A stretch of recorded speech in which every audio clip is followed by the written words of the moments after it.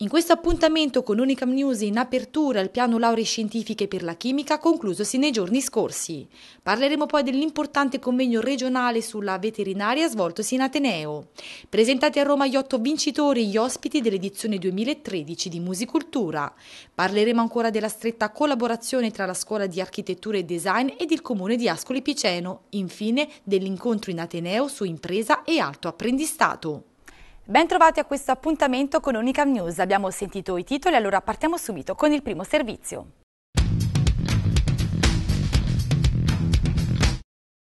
Si è tenuta nei giorni scorsi la giornata conclusiva delle attività del piano lauree scientifiche per l'anno accademico 2012-2013 che ha avuto come tema adotto un elemento, un invito alla tavola periodica. Sono intervenuti oltre 30 studenti delle scuole superiori di Camerino, Tolentino, Fabriano Iesi e Civitanova Marche che hanno aderito al progetto e che hanno presentato il lavoro svolto sull'elemento chimico a loro assegnato. Il piano lauree scientifiche coordinato per Unicam dalla professoressa professoressa Rosanna Galassi è un progetto nazionale che vede coinvolti gli Atenei con l'obiettivo di far conoscere le materie scientifiche tra cui la chimica agli studenti delle scuole superiori e stimolare le vocazioni scientifiche anche grazie alla collaborazione degli insegnanti. All'incontro ha partecipato anche il professor Marco Taddia dell'Università di Bologna che ha tenuto un seminario sulla classificazione di Mendeleev, un colpo di genio. Al termine della giornata si è tenuta la premiazione degli studenti.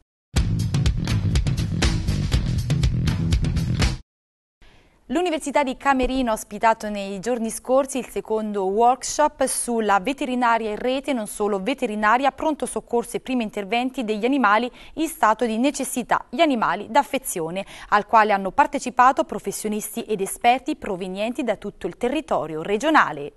L'importanza è quella di eh, dire, garantire eh, un sistema di pronto soccorso reale su tutto il territorio della regione. Gli obiettivi futuri quali sono? Quelli proprio di sviluppare un sistema a rete tra veterinaria pubblica e veterinaria privata per garantire questa attività. Questo perché mm, il sistema sanitario nazionale, quindi anche il sistema sanitario regionale, deve garantire il pronto soccorso dei cani e dei gatti ritrovati sul territorio, sia che essi siano randagi e sia che essi siano di proprietà come pronto soccorso. Eh, poi però questa attività può essere garantita o direttamente tramite il personale del sistema sanitario oppure utilizzando appunto come stiamo dicendo anche oggi il sistema a rete dei veterinari privati che ci sono sul territorio e penso in questo caso a tutti i titolari di ambulatori, eh, cliniche e ospedali veterinari veterinari. Questo proprio per poter dare una assistenza di pronto soccorso 24 ore su 24. Il sistema di base deve poter dare un'assistenza di primo livello, quello che è il secondo livello, quindi quelle che sono le assistenze più eh, particolari, più difficili, più complicate, devono essere eh, come dire, garantite dagli ospedali veterinari, sia essi privati e sia anche dall'ospedale didattico veterinario della facoltà di Camerino. Nell'ambito del convegno è stata anche inaugurata l'ambulanza veterinaria Levriera che presterà servizio sul territorio della Regione Marche e potrà supportare anche le attività dell'ospedale veterinario universitario didattico di Unicam. Come tutti ormai sanno, il perseguimento del benessere animale e la tutela del benessere animale, quindi della salute animale, è indirettamente riferito anche a quello della salute umana.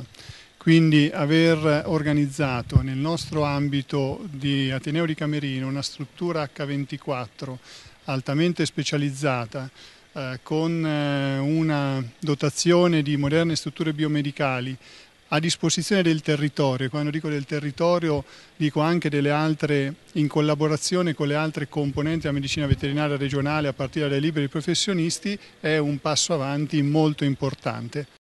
Anche questo servizio di ambulanza veterinaria si colloca proprio in questo sistema a rete che stiamo ormai da anni portando avanti con tutte le componenti della medicina veterinaria regionale. È un valore aggiunto che sarà gestito dall'Associazione di Volontariato Animalista ANTA e che indubbiamente collaborerà con inserita in questo sistema rete per eh, migliorare eh, il servizio che eh, riusciremo a dare nella direzione appunto che richiamavamo prima, quella del perseguimento della sanità animale, del benessere animale ma alla fine del benessere dell'ambiente tutto.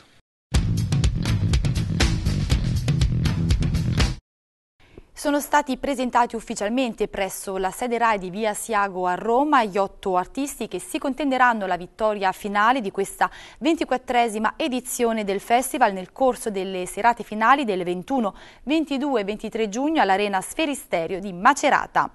Presenti a Roma anche il rettore Unicam Flavio Corradini ed una rappresentanza della giuria di studenti che hanno incontrato anche alcuni degli ospiti d'eccezione che saliranno sul palco nel corso delle tre serate presentate da Fabrizio Frizzi.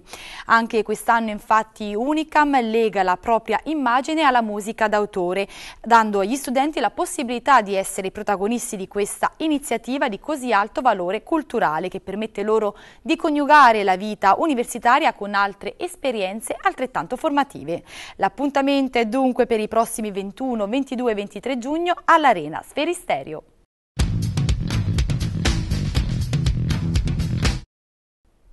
Sono stati presentati nei giorni scorsi nell'ambito dell'incontro AP Town Identity valorizzare l'identità di Ascoli Piceno i risultati delle ricerche realizzate dalla scuola Unicam di architettura e design nell'ambito del progetto Ascoli nel futuro promosso dal comune di Ascoli Piceno. I due progetti Unicam coordinati dalla professoressa Lucia Pietroni riguardano il restyling del logo istituzionale del comune di Ascoli Piceno e la redazione del manuale di identità visiva visiva e di immagine coordinata e uno studio preliminare per la redazione del manuale di arredo urbano di Ascoli Piceno. Il restyling dello stemma istituzionale consente una più razionale, omogenea ed efficace riproducibilità grafica e una più corretta gestione attraverso la realizzazione e la divulgazione del manuale di identità visiva. Sono state poi definite le linee guida e le indicazioni per un futuro e condiviso sviluppo di un manuale che consenta di gestire la qualità del design degli spazi e dei servizi pubblici della città.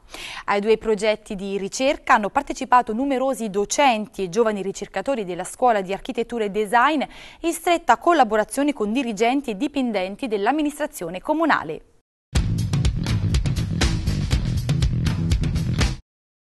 È per il prossimo 19 giugno l'appuntamento a Camerino con il convegno Investire nel capitale umano, impresa ed alto apprendistato. A questo importante appuntamento hanno dato il loro patrocinio la Regione Marche e Confindustria Marche, nonché altre importanti associazioni di categoria. L'incontro sarà l'occasione per un confronto tra rappresentanti del mondo accademico e del mondo imprenditoriale per affrontare i temi riguardanti il processo di innovazione dei percorsi formativi. Non mancherà anche uno sguardo all'Europa con una testimonianza di un'azienda tedesca. E con questo è tutto, vi salutiamo e vi diamo appuntamento a mercoledì prossimo alla stessa ora. Vi ricordo inoltre che potete trovare tutte le informazioni sull'Università di Camerino nel sito www.unicam.it. Grazie per l'attenzione e buona serata.